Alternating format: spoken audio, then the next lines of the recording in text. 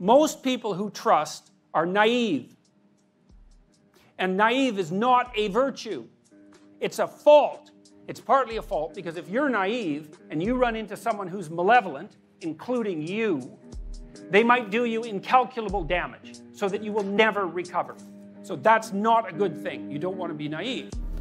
If you're not naive, that means you've been burned once or twice or three or four times. And you know, once you've been burned in that manner, well, then it's hard to trust because you think, well, why would I trust you or me for that matter, knowing full well that I can be betrayed? And so then you're cynical and you think that's an improvement over being naive. You know, it's you're more mature, cynical than you are naive, even if it's premature, and it's often premature in young people. It's like, okay, so how do you get out of that conundrum? Well, this is a crucial thing to know. You trust people because you're courageous. That's why.